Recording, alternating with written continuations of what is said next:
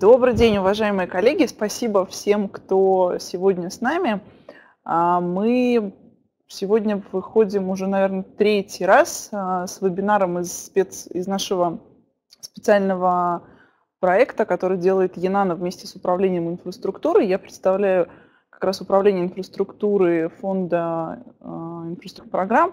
И в этом цикле вебинаров мы говорим о технологиях, которые открывают новые возможности для бизнеса. Говорим о технологиях как о э, бизнесах, о новых рынках, о новых продуктах. Говорим о том, что нужно делать сегодня, чтобы в горизонте 10 лет э, строить компании, которые будут востребованы большими технологическими компаниями. И сегодня наш э, гость э, – это генеральный директор инжиниринговой компании – ЛВМАТ, который занимается аддитивными технологиями. И сразу хочется сказать, что сегодня речь пойдет не о 3D-принтерах, а о всем том, что сопровождает 3D-печать в этом рынке. Я передаю слово нашему гостю Олегу Лысаку. Олег. Да, добрый день, уважаемые коллеги. Татьяна, большое спасибо за такое представление. Надеюсь, что я попробую сегодня рассказать будет всем интересно, поскольку я попробую предложить вам некий взгляд на аддитивные технологии как источник роста для новых технологических стартапов, а не то, как мы обычно привыкли это видеть, что 3D-принтинг красиво, добавляем, а не убавляем, как это, как это все привыкли рассуждать, что конвенционные технологии давайте отсечем все лишнее, а 3D-печать это добавим что-то новое. Я попробую сегодня рассказать про то, что аддитивные технологии делают с точки зрения рынка, как они вообще меняют существующие подходы к ведению бизнеса, тому, какие возникают новые ниши, и что мы все, как где-то как, как часть сети технологических центров, где мы все можем создать новый бизнес и увидеть себя в как бы, том новом мире, который строит, почувствовать себя такими Илонами Масками из России. А, я сначала расскажу, потом можно будет попробовать позадавать вопросы. А, для начала давайте начнем вообще, что такое рынок и чем рынок России отличается от того, что происходит во всем мире. А, я сразу говорю, что у меня часть слайдов будет на английском, часть на русском, но я думаю, что всем будет все понятно. Каких-то сложных философских сентенций нет, обычно это цифры, какие-то тезисы. Все мы видим, что по прогнозам текущий рынок аддитивных технологий в мире, то, что называется additive manufacturing, должен практически увеличиться в 4 раза за следующие 4 года.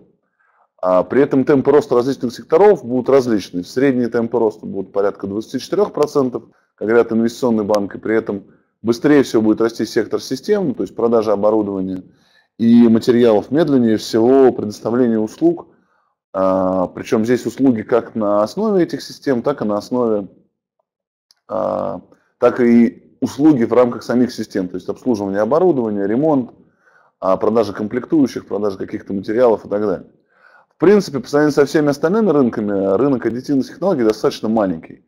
А сейчас это порядка 7 миллиардов долларов, ну, тут данные на 2017 год почти 9. А для сравнения, рынок систем в CNC, так называемая ЧПУ обработка, это порядка 150 миллиардов долларов только рынок всех, всех, всего оборудования, которое продается. Для сравнения, в год продается там порядка 100 тысяч промышленных роботов – то, а если говорить про 3D-принтеры профессиональные, это в год порядка там, максимум 500 систем. То есть рынки вообще не сравнимы по объему с существующими конвенционными рынками, но при этом, если мы их сравним по темпам роста, то а, для мирового рынка рост в 24% годовых ежегодно, это примерно в 15 раз выше, чем все традиционные рынки растут.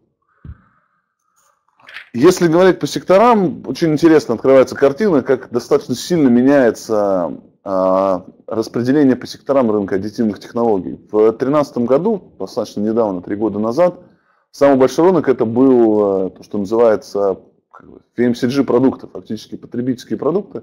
Потребительская электроника, это был практически четверть всего рынка.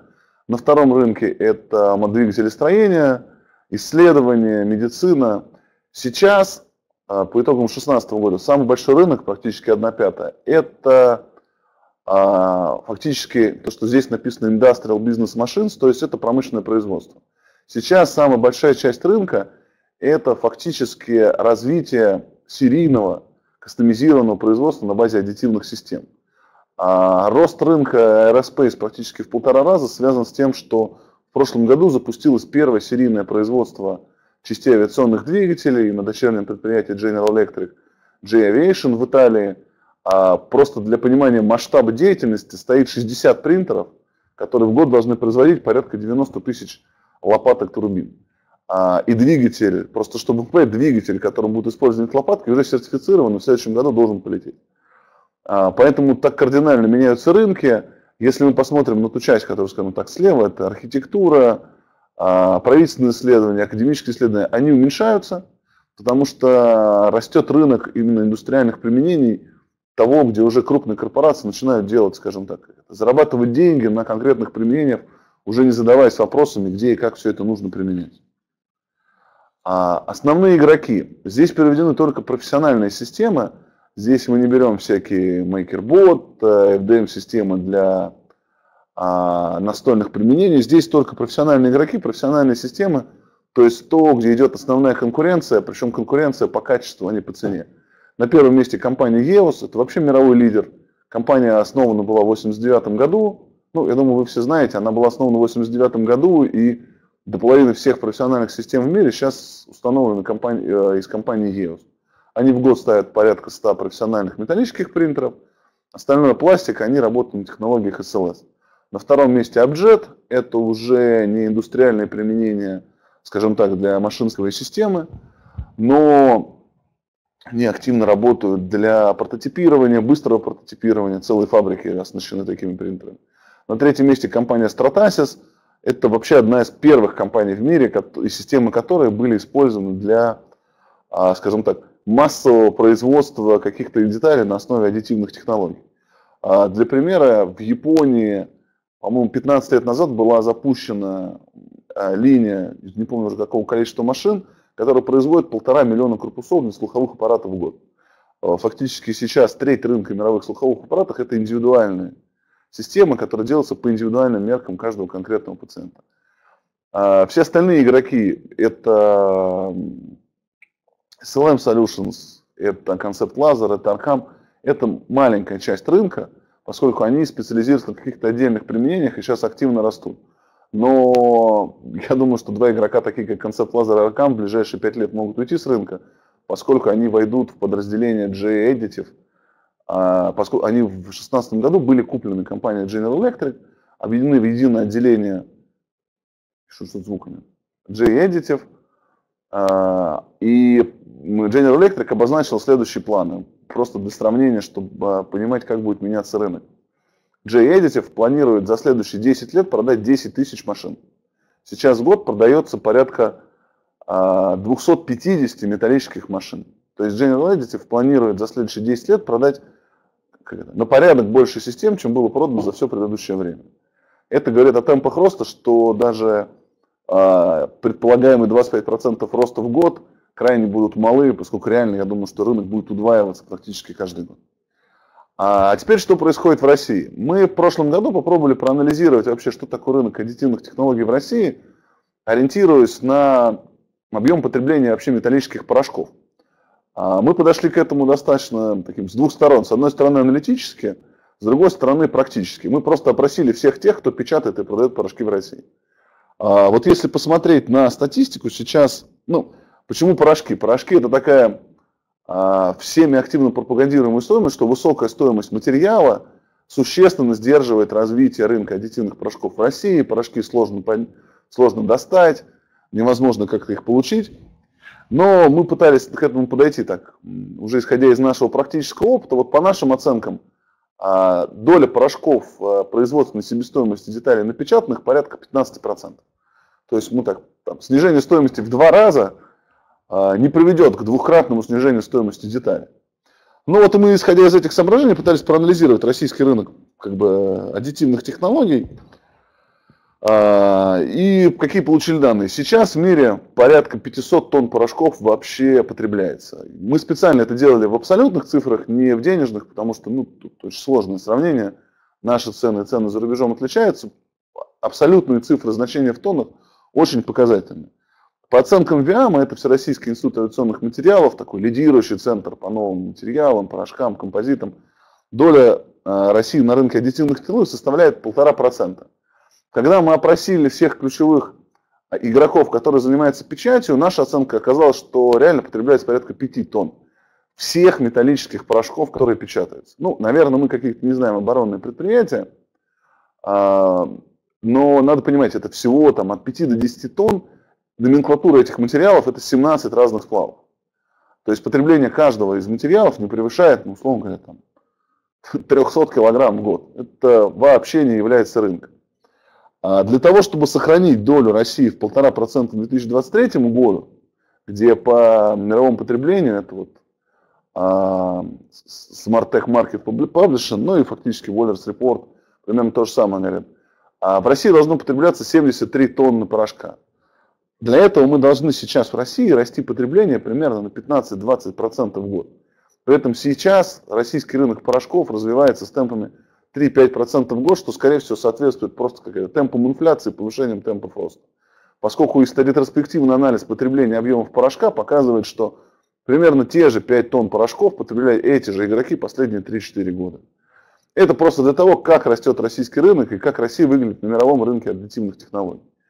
А, для меня эта тезис звучит следующим образом. Российского рынка аддитивных технологий вообще не существует. Причем его не существует как а самостоятельного рынка только как часть мирового, где мы что-то можем делать только в мире. Если мы хотим запускать какие-то новые бизнесы и новые применения, ну, скажем так, на профессиональном рынке, не для производства 3D-принтеров, для продажи в школы, не попытка импорта заместить иностранные ПЛА, пластик для того, чтобы использовать его в старых принтерах, а сделать какие-то действительно серьезные бизнесы, мы должны смотреть только в мир. А иначе никаких перспектив для роста у нас не существует. А дальше давайте попробуем поговорим про то, как вообще устроен рынок аддитивных технологий. А, в, я бы это назвал так, от монополизма к кооперации. А, что сейчас в мире вообще происходит с... Что такое аддитивная технология сейчас для мира? Это принципиальное изменение производственных и логистических цепочек. А, уже в мире сейчас не говорят про то, что можно печатать, как это печатать, где там можно зарабатывать. Все говорят о том, как это поменяет, в принципе, организацию бизнеса. Ключевой вопрос, что мы перейдем от э, дистрибьюции продуктов к дистрибьюции производства. И основные усилия всех игроков, которые сейчас работают в рынке, ориентированы именно на два этих процесса.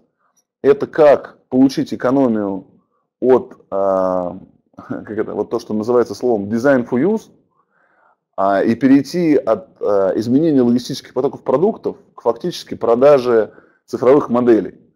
В связи с этим идет очень сильная стандартизация в производственных процессах, возникает отдельный бизнес, связанный с отработкой технологий печати, и рынок очень сильно ориентирован на кооперацию большого количества игроков, каждый из которых занимается а, своей частью. Я следующим слайдом попробую это как-то более подробно показать. А, вот если мы посмотрим вообще, что такое рынок аддитивных технологий, фактически это три ключевых сегмента. Это материалы, это технологии печати, это оборудование. При этом есть два ключевых, скажем так, а, маркетмейкера, которые очень сильно влияют на развитие. С одной стороны, это индустрия, причем туда уже включились такие компании, как BMW. А, они в прошлом году купили первый индустриальный принтер и начали себя печатать. Такие компании, как Daimler – который в прошлом году принял решение о переходе на производство на базе аддитивных технологий деталей интерьера, причем объяснил это следующим образом. Мы напечатали 100 тысяч деталей и поняли, что печатать дешевле, чем лить. Ну, просто так, для понимания масштаба. 100 тысяч пластиковых деталей отпечатала компания Daimler.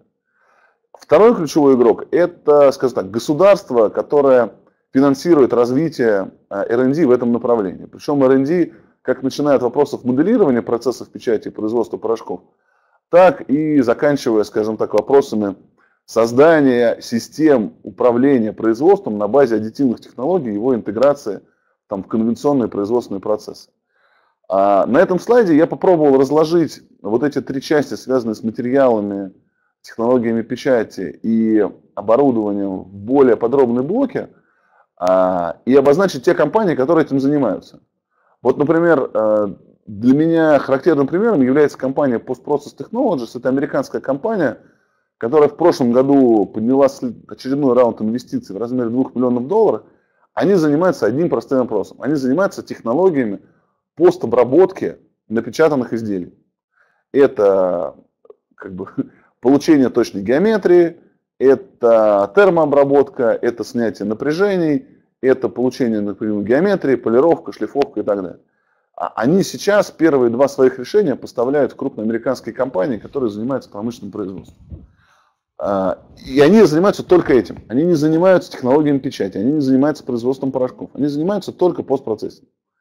А, интересная компания, например, Sigma Labs, которая сейчас является, начинает быть поставщиком решений именно по онлайн-мониторингу процессов печати а, и ну, как сказать, редизайну процесса печати в рамках со, самой, со самого процесса печати. Вот компания Sigma Labs, она такая, это сложно объяснить на русский, чем она занимается. Фактически это онлайн-аналитика того, как идет процесс печати и что мы получим на выходе. А, и, и так можно представить по всем основным игрокам.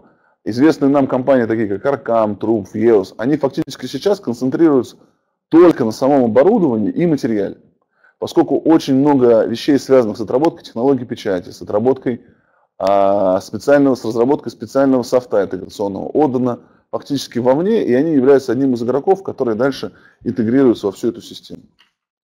А, что сейчас происходит в России? В России есть УДК, в России есть ВИАМ, который занимается всем. А, и характерный российский стартап в аддитивке звучит так.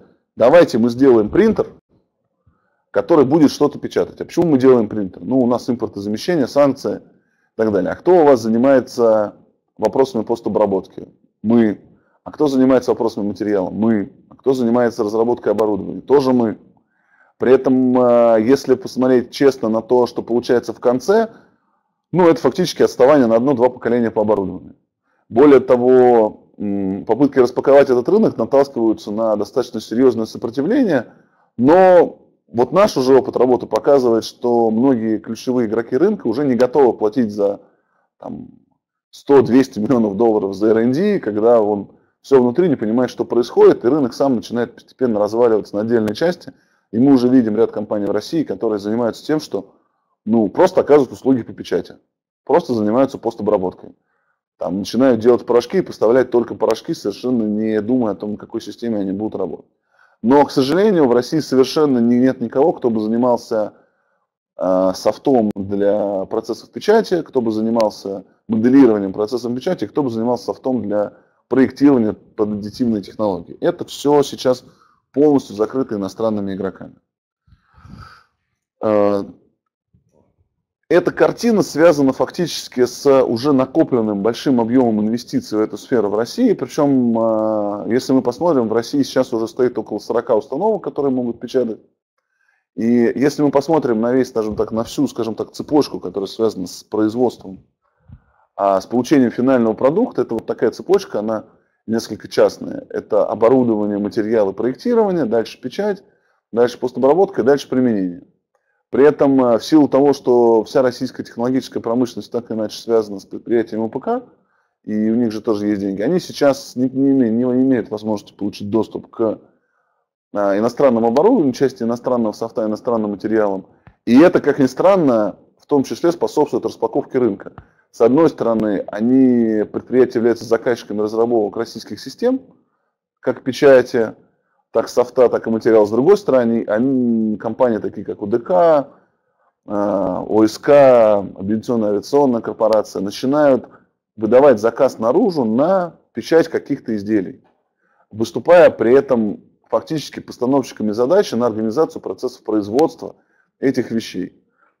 А, и здесь открывается как раз очень много ниш для того, чтобы создавать, с одной стороны, новые бизнесы по сервису, с другой стороны, а, по каким-то новым разработкам, каким-то новым применениям. В всю эту картинку достаточно интересно наложить на то, где в России вообще есть точки по печати. А фактически много где, как ни странно это звучит. Причем очень много компаний уже купили это оборудование и уже активно начинают им пользоваться. При этом какие-то компании могут работать на открытый рынок, какие-то не могут. А, вот на этой карте мы фактически попробовали изложить всех тех игроков, которые есть, при этом не надо думать, что все в России или там в Питере. Достаточно крупные точки есть в Екатеринбурге, в Самаре, в Уфе, в Перми очень мощное движение идет по аддитивным технологиям, но это скорее все те, кто должны являться потребителями продуктов, а не разработчиками новых систем. А, в этом списке вы можете увидеть несколько частных компаний, которые фактически являются провайдерами услуг, а, очень часто даже не обладая собственным оборудованием. Они фактически берут оборудование в управление, организуют процесс обработки заказов и производства каких-то изделий, сами занимаясь фактически ну, таким арбитражом. Они получают, могут, э, управляют э, дешевым оборудованием, при этом берут заказы и зарабатывают именно на том, что они умеют печатать качественно некоторые изделия. А наш опыт работы прошлого года и позапрошлого показал, что в России реально есть только 3 или 4 точки – где качественно умеют печатать различными материалами. Я бы не хотел их сейчас называть, но нет ни одной точки, которая бы умела печатать разными материалами и разными процессами. То есть одной такой точки нету, и это в том числе одна из возможностей для бизнеса, тех, кто сможет у себя сконцентрировать компетенции по печати различными материалами и четко понимать, где какой материал нужно применять, что будет в конце и как можно будет печатать, и что, какой результат получить, и главное, за какие деньги. А в связи с этим мы для себя попробовали создать таких, как это, три сценария развития отрасли российских аддитивных технологий. А, один из них грустный, реалистичный, есть второй более веселый, оптимистичный, и как мы его называем, предпринимательский. А реалистичный сценарий говорит о том, что к 2023 году а, Россия вообще не будет заметна на международном рынке аддитивных технологий.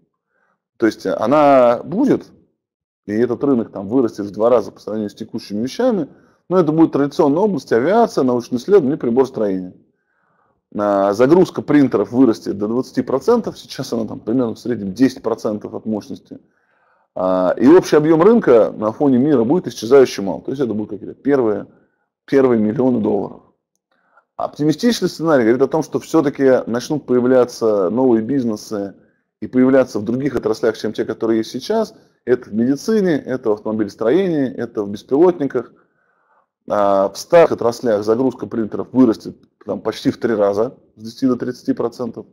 А те бизнесы, которые будут создаваться в новых отраслях, они, загрузка будет 70 процентов. Но они будут создаваться просто как бизнес именно по производству конкретных изделий. И здесь это не будет ничем отличаться от обычных процессов CNC, литья, штамповки. То есть здесь аддитивные технологии, ну скажем так, 3D-печать, это будет просто, ну как это, понятный станок для производства понятных изделий. А, в этом случае Россия, как страна, как игрок на мировом рынке аддитивных технологий, ну, станет более заметна, но при этом рынок по сравнению с текущим объемом вырастет там, фактически там, в полтора раза.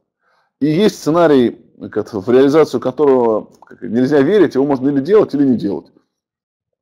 Это так называемый предпринимательский сценарий, это то, что сейчас фактически пытается запускаться в рамках сети нанотехнологических центров Руснана, говорит о том, что каждый год будет появляться по три новых бизнеса в нетрадиционных для сегодняшнего дня отраслях применения аддитивных технологий. Это говорит о том, что будут а, в традиционных областях количество принтеров увеличивается на 3 в год, а новые бизнесы позволяют их загружать и увеличивают их загрузку до 50% к 2023 году. При этом каждый год будет появляться по три новых бизнеса в новых отраслях. Это в медицине, это в автомобилях, это в беспилотниках, это в производстве ювелирных изделий, это в производстве деталей для лазерной техники и так далее, так далее, так далее. При этом там загруженность будет достаточно большая. А, в этом случае мы сохраним свою долю на мировом рынке в полтора процента, а, и рынок сам, российский рынок, при этом вырастет, объем российского рынка вырастет примерно в три раза по сравнению с текущим объемом. И здесь как раз возникнут, о чем мы сможем дальше поговорить, а, места для новых бизнесов, которые мы все сможем создать и на которых все смогут запустить и начать работать. А, это так, как это, слайд про мою боль, как представляющую инжиниринговую компанию, что в России фактически отсутствует рынок внешнего инжиниринга, причем, если говорить про аддитивные технологии, ситуация вообще грустная. А, все ключевые заказчики, которые могли бы обладать собственным принтером, при этом ничего на них не могут делать. А, есть фактически два там, крупных провайдеров услуг по аддитивным технологиям, это вузы и госкомпании, они делают все для себя. А те частные компании, которые имеют доступ к принтерам, они реально инициируют новый спрос, но очень часто они не работают в логике оказания услуг на рынок, они сами разрабатывают свой продукт и начинают зарабатывать на продаже продукта. При этом их бизнес-модель связана с тем, чтобы а, как это, оборудование получить подешевле, а продукт продать подороже. Ну, как бы в нормальных условиях это такая стратегия понятная, но, к сожалению, она не ведет к там, взрывообразному росту рынка. А больше всего меня радует, что начинают появляться стартапы именно то, что называется application, которые не привязаны к конкретному оборудованию и которые понимают, как выстраивать свою новую бизнес-модель, исходя из возможностей аддитивных технологий. Скажем так, я считаю, что два наиболее интересных стартапа – это один – это моторика, которая, используя аддитивные технологии, смогла разработать технологию, которую я бы называл а, как это, массовое серийное производство кастомизированных гильз. То есть они могут а, делать индивидуальные изделия массово и серийно. При этом для них 3D-печать это ничего, что как бы, это просто возможность производить такие вещи по цене даже ниже, чем сейчас вручную. И вторая очень интересная история – это компания Ortos, которая а, массово печатает коронки, причем они смогли отработать процесс именно серийного производства индивидуальных коронок. У них от момента заказа до момента поставки готового изделия два дня. Цена меньше, чем производство текущими вещами, просто за счет того, что у них как это, выход годных больше. Отливка и ручное производство позволяет попасть в нужный размер где-то в 50% случаев.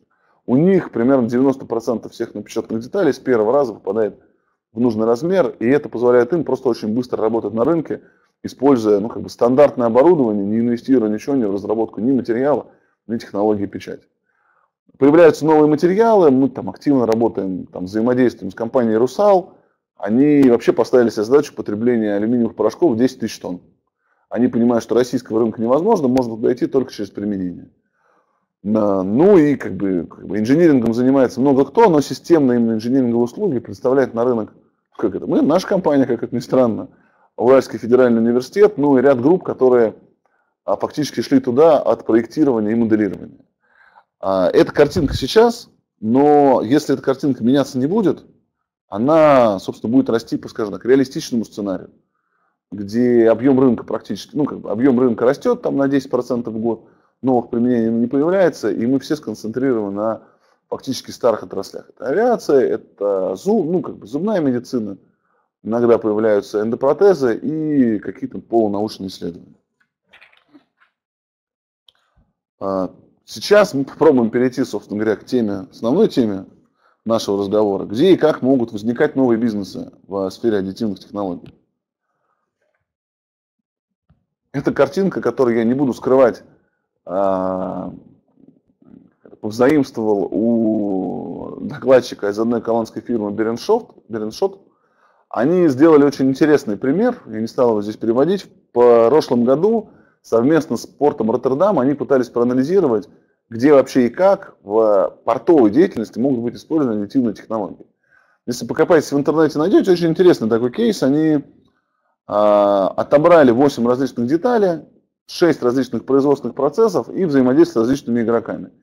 И это компании, которые занимаются а, погрузкой-разгрузкой, это компании, которые занимаются ремонтом судового оборудования, это судовладельцы, это компании, собственно говоря, управляющими портами, и это поставщики комплектующих. Они проанализировали возможности, где как дешево печатать, где дороже печатать, где э, какие результаты можно получить, как это сертифицировать, ну и такую, создали такую матрицу, по итогам которой а, владельцы порта Роттердам, ну, управляющие, создали маленькую ремонтную мастерскую с двумя принтерами, и сейчас начинают оказывать услуги просто по ремонту различных деталей судов и поставке таких комплектующих на суда, которые заходят в порт ремонт. Вот а, а, картинка, которую я, собственно говоря, у Ханса Вантуора взял, она показывает фактически, как а, может разрастаться бизнес а, при, на базе аддитивных технологий. В ядре его находится то, что называется быстрое прототипирование или а, как это, быстрое изготовление различных инструментов, rapid tooling. А, это то, с чего все начиналось, и то, что все думали, а, что и будет основной сферой применения аддитивных технологий. То есть фактически мы можем быстро получить функциональный прототип в одном случае, где дизайнер и конструктор могут сказать, вообще все работает, можно ли быть использовано, как, зачем и почему. А, а для инструментальных цехов предприятий, ну, некоторые делать оснастку, изготавливать оснастку, изготавливать какие-то инструменты, которые позволяют добиваться другой производительности труда, при этом не пытаясь э, их производить в рамках там, процесса сначала отольем, потом фрезеровка, потом закалка. А для малых серий это просто невыгодно. Но, по словам э, Ханса, самый большой рынок на самом деле возникает в том случае, если мы полностью меняем цепочку поставок. И это может быть связано только с применением новых бизнес-моделей. Ну вот, а, хороший пример такого начала такого бизнеса, это, к сожалению, конечно, там такой, может быть, не самый характерный, это проект DARPA. Они поставили сейчас на несколько американских авианосцев металлический принтер для того, чтобы в удаленных местах печатать комплектующие для этих авианосцев и для военных подразделений. А, фактически, что они сделали? Если раньше необходимо было в каждом порту, куда заходил авианосец, а, необходимо было иметь большой объем комплектующих, которые необходимы для ремонта, для поддержки всех этих операций, то сейчас сам авианосец возит на себе просто 2 тонны разных порошков и набор 3D-моделей. Процесс печати понятен, процесс обработки понятен, и следующий шаг для них это сделать контейнерное решение.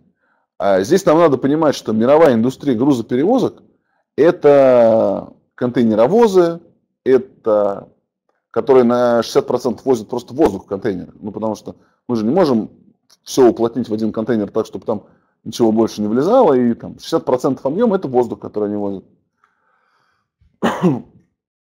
а насколько, и, и вся эта отрасль это триллионы долларов. Полное изменение системы перевозок, то есть когда ты начинаешь фактически посылать а, дет, как бы 3D-модель деталей в конкретную точку производства, полностью изменит весь этот рынок. А, объемы перевозок физически в тоннах сократятся, я думаю, на несколько порядков. И только те, кто смогут строить, как бы те производственные предприятия, те крупные концерны, которые смогут вовремя встроиться в этот процесс, сохранят свое место на рынке. А, и здесь возникает, ну не знаю, мне кажется, место для сотни новых бизнесов, причем как локальных, так и транснациональных, начиная от выстраивания логистических цеповых поставки порошков, заканчивая с доставкой, ну, скажем так, на последней миле от конкретного принтера до конкретного потребителя.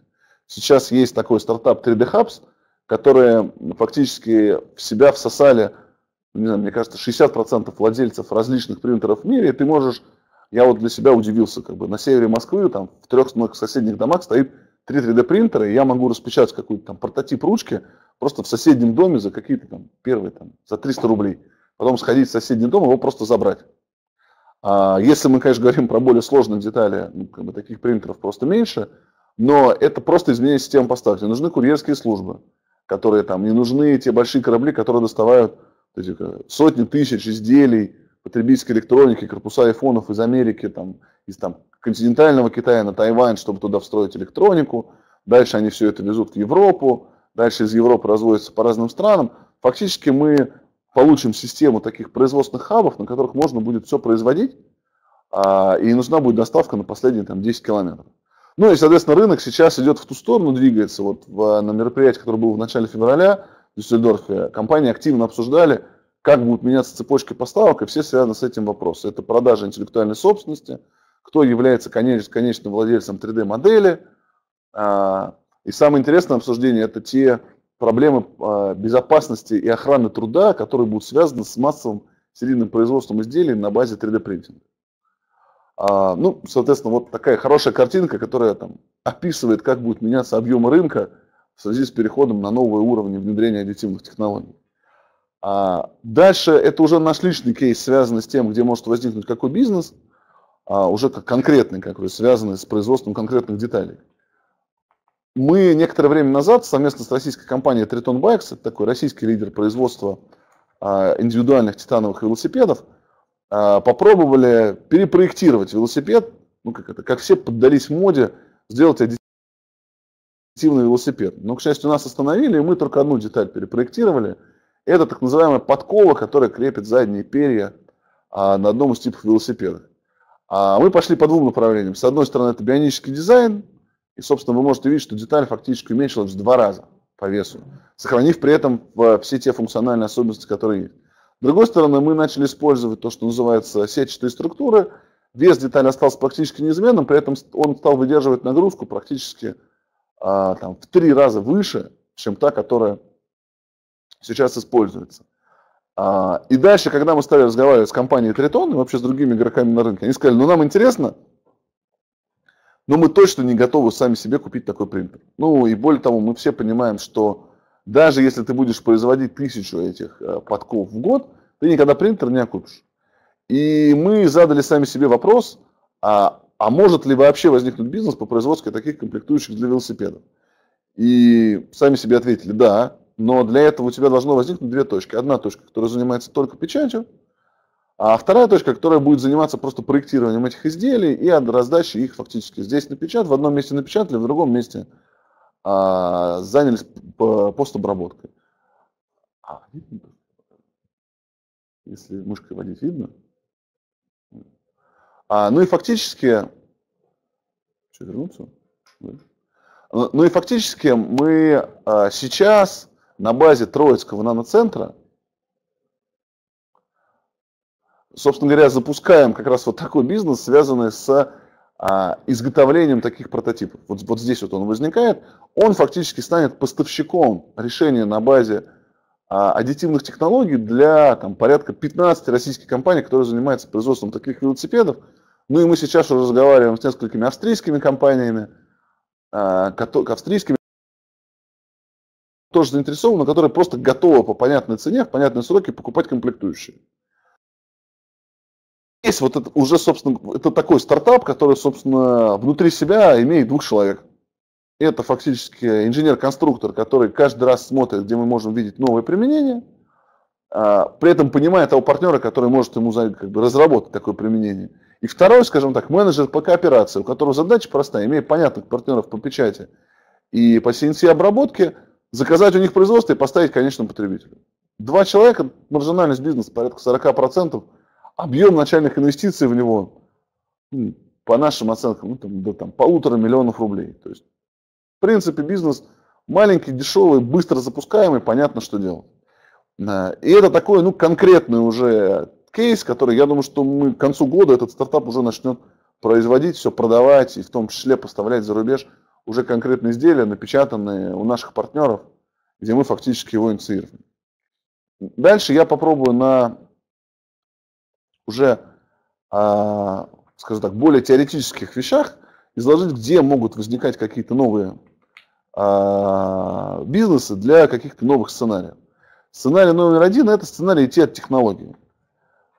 А, то, что сейчас происходит в мире, это то, что называется дизайн-драйвен проектирование. К сожалению, в России это практически не развито в связи с тем, что ну, многие наши компании не обладают необходимым объемом, ну, скажем так, софта, второй стороны, у них просто нет достаточно компетенции, чтобы правильно заниматься таким моделированием. Ну и с третьей стороны, у них просто нет потребности в, так, в настолько быстрой смене модельных рядов и выпуска на рынок новых продуктов. А, как, сейчас, как, бы, и как сейчас происходит проектирование в мире? Фактически идет анализ а, сценариев использования, потребительских сценариев использования продукции – Дальше идет виртуальное моделирование всех физических и, скажем, иногда в ряде случаев химических процессов, воздействующих на это изделие. А, и испытания происходят на базе тех моделей, которые уже были созданы. И дальше необходимо сделать один-два прототипа физических для его верификации. А, в ряде, как бы, и это позволяет ну, где-то в три раза сократить сроки вывода продукции на рынок. А, в отрасли автомобилестроения 3D-модели компьютерные, которые используются для проектирования, результаты а, анализа, э, результаты разработки в рамках этих моделей на 95% соответствуют тому, что в реальности происходит ну, как бы в физическом мире. Те физически сделанные машины и те физически проведенные испытания, которые есть, на 95% совпадают с тем, что получится результатами моделирования. Для других отраслей это меньше, но там совпадение порядка больше 80% говорит о том, что мы уже можем не делать физические прототипы, и не тратить время на то, чтобы физически изготовить изделие, его испытать, сломать, порвать, растворить, э, облить чем-нибудь, обдуть. Все это может быть, все это может быть перенесено в виртуальный мир. В связи с этим возникает э, большая потребность в фактически проектировании новых материалов и новых технологий производства, если говорить про технологии 3D-печати, новых стратегий печати, исходя из тех требований к продукции, которые складываются, скажем так, не а, из физического мира, а из виртуального мира. И здесь мы видим возможности для, для появления новых стартапов, скажем так, а, которые могут быть а, выделены из каких-либо НИИ, из каких-то крупных R&D-центров или из каких-то университетов, которые будут связаны с а, новыми материалами, это вот эта вот часть, а, те материалы, которые будут заменять существующие на рынке, или с технологиями изготовления этих материалов, или с какими-то новыми технологиями производства, которые в себе будут совмещать некоторые достоинства. А, как пример такого стартапа от новой технологии, это такой стартап XJet, который фактически на базе, это израильский стартап, а, его запустила команда, которая фактически сделала первый струйный принтер и продала, продала его HP. А, они попробовали этот же принцип применить для печати металлом. Сейчас уже первые машины стоят на бета-тестировании и используются в рынке. Да, они понимают ограничения по применению, но они четко смотрят в рынок производства небольших изделий, а, высокоточно, которые требуют высокого класса поверхности и очень высокой точности производства с очень маленькой серией. Если говорить про другие материалы, это стратегия, которая сейчас, например, там, исповедует Русал. Они а, готовы разрабатывать новые материалы под новые применения, получив ТЗ на те свойства, которые должны быть в финале уже из напечатанного материала. А, есть несколько маленьких стартапов, они пока в основном в пластиках. Это старт, как бы запустилась компания NextDent, которая просто сделала линейку материалов для печати различных зубных применений. Это биосовместимые материалы разного класса, разной прозрачности, разного цвета, но основывающиеся на одной технологии печати, это технология ProJet – они фактически как бы, выпустили на рынок новый материал и сейчас занимаются только продажей материала, сертифицировав его у разных производителей.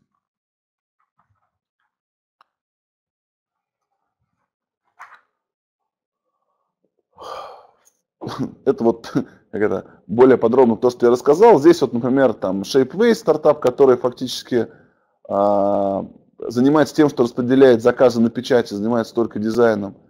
Есть часть стартапов, которые занимаются просто печатью. Там, за последние там, 4 месяца было продано а, 3 стартапа, которые занимаются только печатью чашек эндопротезов. Вот а, крупные компании там Лима и Десанта. При этом было продано еще 3 стартапа, которые занимаются только печатью чашек. А, отдельная история связана с дизайн-центрами, но это уже, как бы, скажем, это то, во что куда дальше могут вырасти стартапы. При этом и Materialize, и Altair, и э, Dassault, э, Dassault System занимается тем, что покупают стартапы, которые разрабатывают новый софт, проектированный под аддитивные технологии. А это, скажем так, если говорить про сценарий, скажем так, идти от технологий и от глубоких исследований. Есть второй сценарий, это сценарий идти от рынка. А, и здесь а, я попробовал разложить, скажем так, некоторые сферы на то, как мы понимаем, они могут быть устроены а, для рынка. Здесь я изложил рынок по, а, скажем так, рынок системы разделения труда в рынке медицины. А, это как бы из нашей реальной практики то, что мы сейчас запускаем. Если говорить про рынок медицины, то сейчас он устроен достаточно сложно. В нашем понимании медицинский рынок – это клиники, это поставщики каких-то изделий, и это заводы, которые их производят. В реальности если мы посмотрим на рынок, все существенно сложнее. А, ну, в России, конечно, так. В России вообще есть только клиники, есть поставщики, а, и, и есть поставщики конкретных а, изделий. Но есть, возникает сейчас на рынке возможности для запуска бизнеса, связанных с проектированием конкретных применений, поскольку сейчас все идет э, к полной индивидуализации всех изделий. Понятно, что с существующими технологиями производства невозможно добиться скажем так, постановки каждому его реального индивидуального эндопротеза. Где-то это и не нужно. При этом это генерит в себе гигантский спрос на услуги по проектированию а, изделий, которые будут вставлены в человека, причем без привязки к конкретной технологии производства. И здесь возникает возможность создания там, одного или нескольких дизайн-центров по аддитивным технологиям в медицине. Возникает возможность по запуску нескольких точек по печати конкретных изделий на базе отдельных технологий, по печати медицинских изделий. Почему отдельно медицинских изделий? А, это та сфера, которая прикладывает определенные требования к сертификации, требования к материалам, требования к частоте производства, его последующей стерилизации. И если мы посмотрим уже на, на следующий слайд, а здесь вот фактически это такая а, подсказка всем игрокам рынка, где можно создать новые бизнесы. А, это можно создать дизайн-центр, можно запустить свой конкретный стартап по конкретному а, решению для конкретного рынка. Это может быть там какая-то отдельная чашка, это может быть новая конструкция эндопротеза, это может быть а, способ производства индивидуальных эндопротезов, например, ребер, например, челюстно-лицевой хирургии. Это может быть там, какие-то новые продукты на базе каких-то новых материалов. Это могут быть компании, которые будут заниматься только печатью. Вот то, что я называю словом медфаб. А, российский рынок достаточно большой, чтобы запустить не один, а несколько центров по печати. Вот первый мы сейчас запускаем в Троицке совместно с Троицким нанцентром. Но я вижу, что есть еще несколько точек, где они могут быть запущены просто в силу географического принципа. Например, из Москвы невозможно поставлять изделия, скажем так, на Урал. Ну, просто будет долгая логистика, дорого возить, и это не нужно. А, можно запустить компанию по сертификации порошков, материалов, да, сначала это все будет сложно и долго, но это реальный бизнес, который в последующем может быть продан крупным игрокам, там, как все мы знаем, все International, Protec, которые занимаются а, дистрибьюцией фармы, но я думаю, что они с удовольствием займутся другими рынками, если получат возможность получить готовый бизнес. Для такого завершения, я уже, так мне кажется, затянул долго, обещал быть короче, а уже рассказываю долго. А, это еще одна подсказка от голландца – чем надо заниматься, в какие отрасли надо идти, в какие отрасли не надо идти. Вот он утверждает, что первой волной уже не надо заниматься, поскольку в aerospace и healthcare уже все всем понятно, где будут какие бизнесы, кто на них будет зарабатывать. Более того, а, конкуренция стартапов в этой сфере так велика, что появление там новых, особенно из России, маловероятно. А, идти надо сейчас. Самое дешевое – это фактически consumer goods – где мы можем полностью изменить систему uh, supply chain и таким образом там запустить новый бизнес. Это, опять же, такая, мне кажется, прям, как говорят, uh, за какое время ты можешь выучить китайский язык, как это, методичка есть, ну, можно идти сдавать. Вот это методичка того, что и как можно делать. Uh, на этом слайде показано, что мы уже сейчас делаем совместно с Троицким нанцентром, с нанцентром в Санкт-Петербурге, что-то в Томске делаем, что-то в Новосибирске – но мы готовы других кого-то применять, всех привечать, всех смотреть. Закончу я тем, что расскажу, кто мы. А, ТИК ЛВМАТ был создан почти уже два года назад совместно Фондом инфраструктурных и образовательных программ Руснана и групп компаний Company а, для того, чтобы взорвать рынок аддитивных технологий в России. Мы абсолютно фаблес компания, всех, все, что у нас есть, это инженеры и рыночный анализ. А, мы создали достаточно серьезную партнерскую сеть в России и за рубежом, а, которые могут печатать, заниматься постобработкой, поставлять материалы, поставлять порошки. И это позволяет нам быстро и дешево делать все проекты. Нам не нужно покупать принтер и содержать свой принтер конкретный а, для того, чтобы сделать какой-то проект. Мы вольны в выборе технологии и можем выбирать технологию для конкретных применений, а не пытаться какую-то технологию приспособить под это применение. А чем мы занимаемся? Фактически закрываем весь цикл от а, проектирования изделий и конструкций, заканчивая до создания производств на базе аддитивных технологий. Я, наверное, на этом закончу, чтобы оставить какое-то время на вопросы, если есть. А, готов ответить, не знаю, мне кажется, наш тайминг позволит там, 2-3 вопроса задать, и на них как-то попытаться ответить.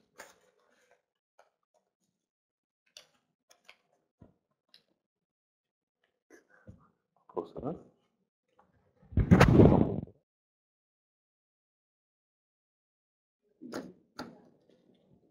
Вопросов, я так понимаю, вопросов нету.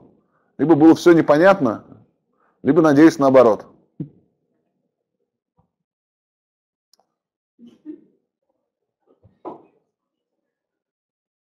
Я так понимаю, что презентация будет выложена потом на сайте.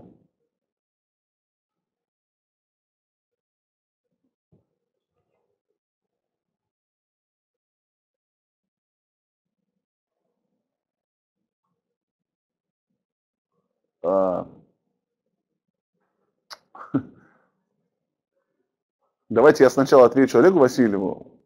У нас порошок для металлической печати купить нельзя. Я уже сказал, мы этим не занимаемся. А, если вас очень интересует какой-то конкретный порошок, я вас могу просто свести с поставщиками, но зарабатывать на перепродаже не буду. Вопрос про нужно ли в РФ производство порошков, вопрос очень правильный. А, но для того, чтобы на него ответить, скорее лучше ответить на вопрос, каких порошков. А, если мы посмотрим на тот рынок, который сейчас есть, вот я там чуть раньше его показывал, сейчас Россия экономически неэффективно делает производство порошков. Более того, я там, э, мы достаточно глубоко смотрели, смотрели на, а, собственно говоря, технологический цикл производства порошков для аддитивных технологий. Он устроен крайне непросто и ориентирован на то, что у вас есть производители вообще металлических порошков, а то, что вы видите сейчас на рынке как порошки для аддитивных технологий, это квалификация, их отбор и фактически для их фактически отбор под конкретное применение. Поэтому мой ответ сейчас – а, что пока создавать не нужно. Это может вот Русал активно создает, но Русал, а, у него просто очень большие компетенции вообще по порошковой металлургии, он может себе позволить часть своих ресурсов тратить на эту отрасль. Во всех остальных вещах я бы скорее отвечал на вопрос, давайте лучше найдем применение, а не создавать новое производство. Более того, как это, сейчас технологический цикл не позволит вам ничего создать экономически выгодного. насколько Россия готова потреблять услуги под аддитивные технологии, давайте лучше ответим так. В России вообще с рынком инжиниринга не очень хорошо, а, поскольку как бы, в России нет привычки заказывать внешний инжиниринг. Но вот наша работа за два года показывает, что э, отрасль аддитивных технологий так сложна, что там как раз возникает спрос на а, то, что люди, не, не, ну, как бы, компании не готовы терять время и многие сотни миллионов рублей для того, чтобы понять, что они в этом ничего не понимают. Это все равно остается, ну просто некоторые компании ну, не готовы э, что-то аутсорсить снаружи впрямую, но реально готовы потреблять именно под аддитивные технологии в силу там, разных причин.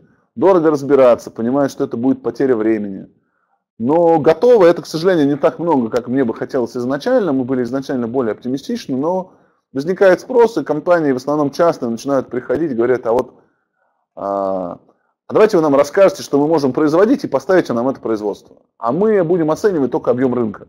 И нужно ли нам это. И мы не хотим заморачиваться с проектированием, с выбором принтера. Давайте еще, наверное, сколько? Сколько у нас тайминг? Два-три вопроса. Как патриот я должен ответить, что они есть. А как честный человек, я вам отвечу так, что 3D принтер по своему устройству не сильно отличается э, от хорошего ЧПУшного станка. Про российское оборудование для ЧПУ обработки высокоточной вы должны сами все понимать. Ну, то есть это точное машиностроение, ничего больше. Там ключевой это вопрос э, технологии печати, и здесь как раз э, Россия очень может занять хорошую позицию на мировом рынке именно в отработке технологий печати, поскольку у нас вообще сильна отрасль металлического материаловедения, и иностранцам это очень интересно. И, например, разговоры с компанией, там, с несколькими иностранными компаниями, они готовы аутсорсить именно отработку технологий, именно отработку технологий печати. Знаете, наверное, последний вопрос.